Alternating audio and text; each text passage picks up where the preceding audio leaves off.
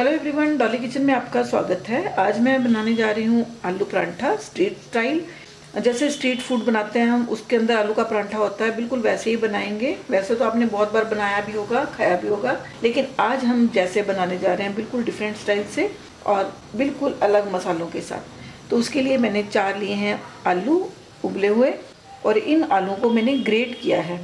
आप देख रहे हैं आलू को ग्रेट किया हुआ। क्योंकि तो ग्रेट करने से ना गुठली नहीं रह जाती कोई भी। अब इसके अंदर हम डालेंगे मसाले, क्योंकि स्ट्रीट स्टाइल है इसलिए इसके अंदर मसाले ज़्यादा ही जाएँगे। जिसके अंदर हम एक चम्मच नमक, आधा चम्मच काली मिर्च पाउडर, आधा चम्मच अजवाइन, एक हरी मिर्च ली है। ये दो पिंच मैंने हींग पाउडर लिया है। आधा चम्मच लाल मिर्च पाउडर, ये एक चम्मच कसूरी मेथी लिया है। एक चम्मच अनारदाना पाउडर। आप चाहें तो आप यहाँ आमचूर पाउडर यूज़ कर सकते हैं। एक चम्मच जीरा पाउडर, भुना हुआ जीरा का पाउडर है ये, आधा चम्मच धनिया पाउडर, आधा चम्मच कश्मीरी लाल मिर्च पाउडर थोड़ा सा कलर अच्छा आ जाता है इससे। और ये मैंने लिया है तीन चम्मच पनीर। ऑप्शनल है, आप चाहें तो डालें, चाहें तो स्किप कर सकते हैं। लेकिन अगर आप मेरे हिसाब से बना रहे हैं तो ज़रूर डालें। इसके बाद ये लिया है मैंने हरा धनिया पत्ता। सारी चीज़ों को हम मिक्स कर लेंगे। बहुत अच्छी स्टफिंग ये बन के तैयार होती है। यहाँ आप नमक टेस्ट कर सकते हैं। कम ज़्यादा हो तो आप एडजस्ट कर सकते हैं।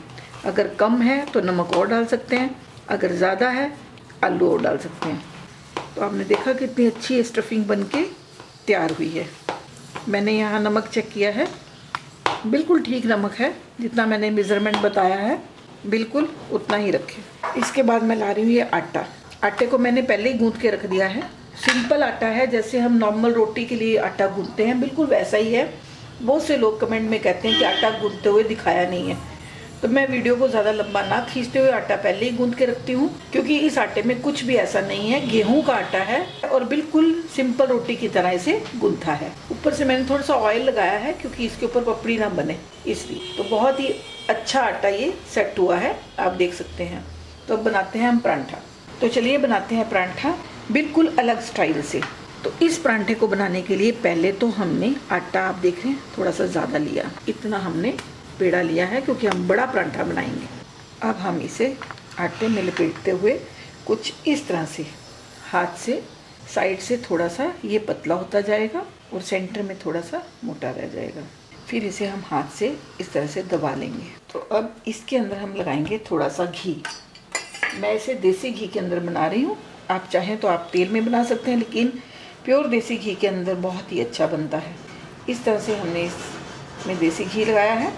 अब हमने इसमें स्टफिंग भरनी है। तो स्टफिंग हम कैसे इसके अंदर भरेंगे? जो हम फिल करेंगे तो आप देखें।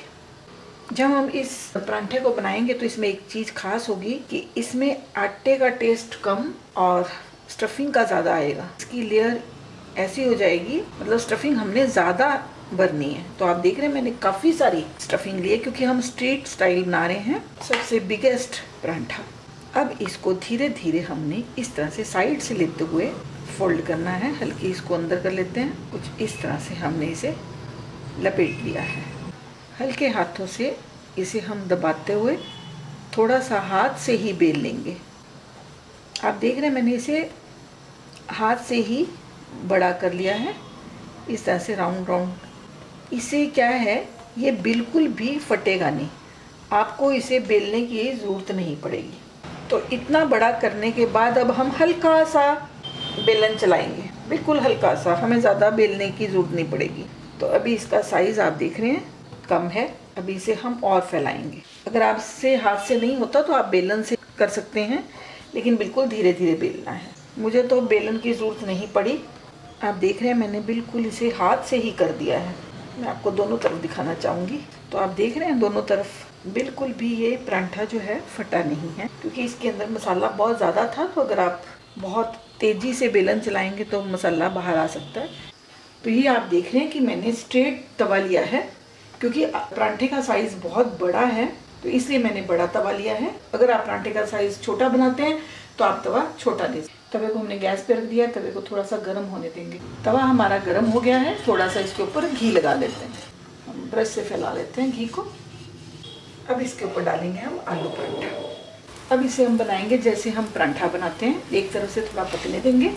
लो मीडियम फ्लेम पे हम इसे बनाएँगे और आप देख रहे हैं इस साइड में हल्का हल्का चारों तरफ़ घी लगा दूँगी। कलर चेंज हो रहा है इधर का।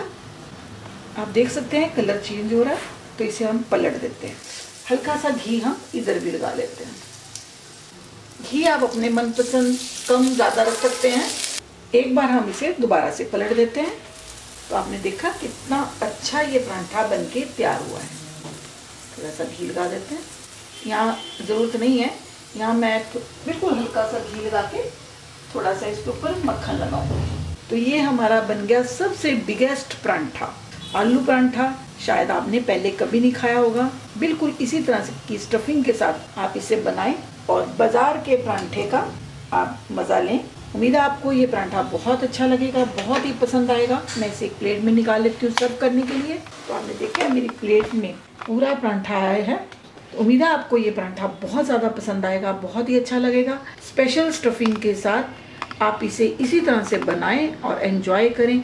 और अपने एक्सपीरियंस मेरे साथ शेयर ज़रूर करें। अगर आपको पराठा अच्छा लगता है तो प्लीज़ वीडियो को लाइक करें, ज़्यादा से ज़्यादा शेयर करें और चैनल को सब्सक्राइब करना ना भूलें। Thank hello everyone